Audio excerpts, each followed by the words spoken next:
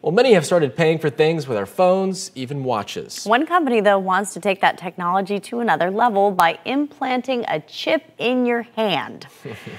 so, the overseas company Walletmor is selling the microchip in parts of Europe. It's about the size of a grain of rice, goes under the skin. It's Ouch. then activated using a digital wallet app. The chip is going for about $300, mm. and the company says at least 200 people have gotten them implanted already. Who I would have people? many questions for a doctor about right. that. Yeah, how how healthy Didn't look is very that micro, did it? No. it was pretty big. I mean, it was a pretty big chip. I mean, you know, a paper cut hurts. You're going to put yes. a thing like that you know, in what happens hand? if you have to change banks? You got to like right. You got to change it, it out. In.